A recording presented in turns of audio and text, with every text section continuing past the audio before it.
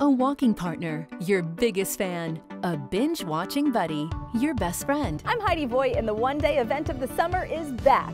Join us Saturday, July 23rd for NBC Connecticut's Clear the Shelters. It's the chance to find the missing piece for your family. For participating shelters and information on reduced fees, search Clear the Shelters at NBCConnecticut.com or on the NBC Connecticut app. You won't just rescue an animal, they'll rescue you. So let's clear the shelters